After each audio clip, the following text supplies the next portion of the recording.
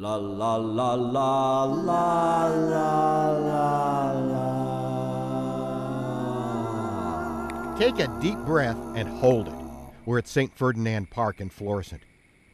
Wait for it. Hold your breath. It's coming. Wait for it. Wait for it.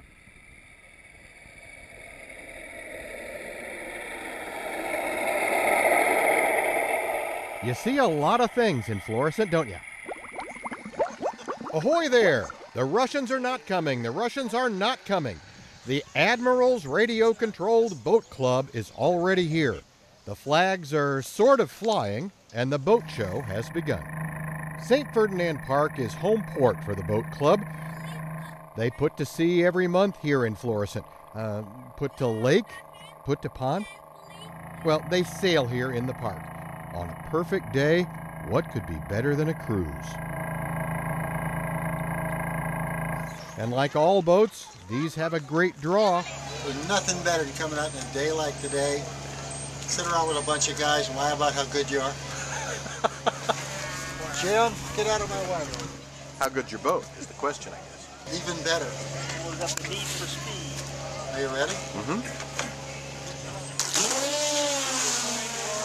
There are all kinds of boats the speedboats, the trawlers, and the highlight of this boat show the six and a half foot long submarine on the prowl in the open waters. There are only two kinds of ships, okay? Submarines and targets. Some of the fleet is built in shipyards and store bought, but a lot of these sailors design and build their own. The Vietnamese sampan plays MP3 music from Armed Forces Radio circa 1970. The police boat has a siren.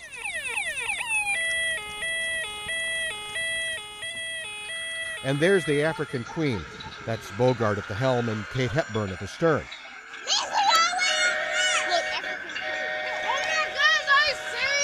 Yes, yes, you bet I'm serious. These guys are sticklers for accuracy and detail.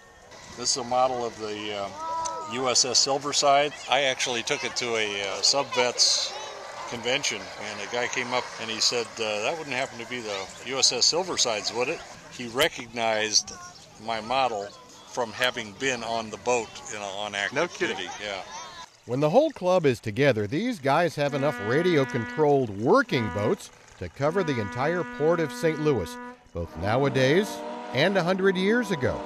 They've got enough warships to stir up trouble in the Mediterranean, and there are enough pleasure craft and yachts to fill Party Cove over and over and over for parties that never end.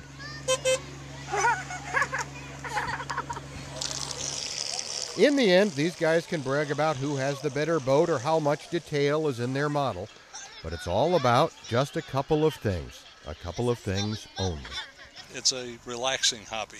I've tried several, you know, airplanes, boats, trains. I'm looking to see which one is the most frustrating. why are you asking why we're playing with toy boats? because it's fun. And that's what floats their boats. Or, if you think about it, has the potential to sink them. For HEC TV, I'm Aaron Mermelstein. La, la, la,